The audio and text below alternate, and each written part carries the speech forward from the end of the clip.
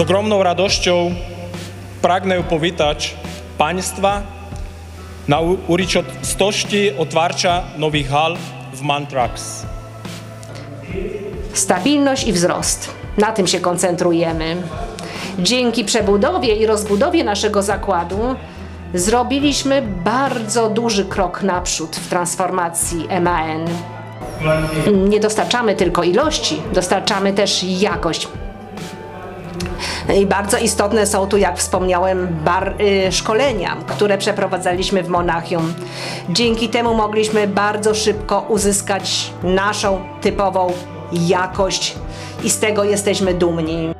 Tutaj na miejscu, murowując kamień węgielny, to pewnie z niedowiarem mówiliśmy o tym, że to za kilkanaście miesięcy już będziemy otwierać. Państwo pokazujecie i dotrzymujecie słowa. Bardzo Państwu za to dziękuję.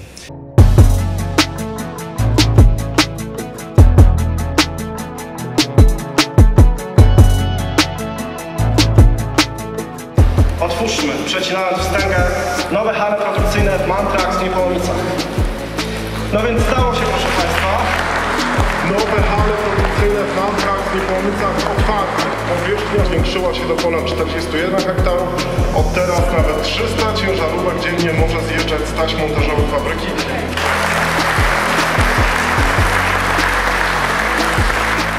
Koncern MAN poszukiwał takiego miejsca w związku ze wzrostem zamówień w pierwszej dekadzie tego stulecia. Z tego co pamiętam, rozważane były wtedy e, czy Słowacja, czy Polska. Stąd decyzja o wyborze podkrakowskich Niepołomic, która została dokonana w 2005 roku, była decyzją przełomową, bowiem po raz pierwszy koncern zachodni realnie e, w dziedzinie ciężarówek lokował w Polsce inwestycję, która była nastawiona na e, rozwój oraz na wykorzystanie pewnych przewag tego rynku w postaci choćby tańszych czynników produkcji, jak siły robocze.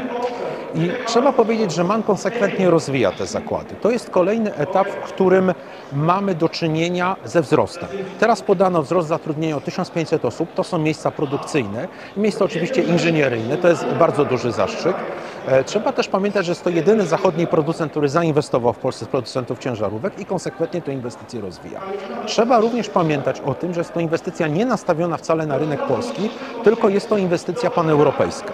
I co jest też istotne? E, Zapadła decyzja o stopniowym wygaszaniu. Te zakłady zostały sprzedane zakładów Steyr, legendarnych zakładów, które zostały przez koncern MENA przejęte w 90 roku. Może tutaj tak to nie wybrzmiało, ale właśnie po cichu trwa przenoszenie produkcji ze Steyr do Niepołomic.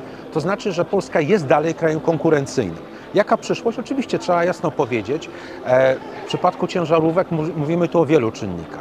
Jak długo e, pojazdy z silnikami spalinowymi będą jeszcze oferowane? Z tego co wiem, fabryki niemieckie mają przejmować produkcję pojazdów zelektryfikowanych, elektrycznych, natomiast tutaj będzie e, produkcja pojazdów z silnikami spalinowymi.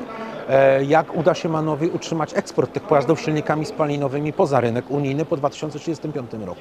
Jak długo będą oferowane samochody silnikami spalinowymi na europejskim rynku, unijnym rynku? Trzeba bowiem pamiętać, że mm, tutaj e, w odróżnieniu od aut osobowych e, przecież mogą być zasilane niekoniecznie wyłącznie pojazdy elektryczne, dalej mogą być silniki spalinowe, które na terenie Unii będą na przykład spalały biodiesel, natomiast poza terenem Unii zwykłe paliwo dieslowskie. Zatem trzeba docenić, że koncern dalej inwestuje w ciężarówki.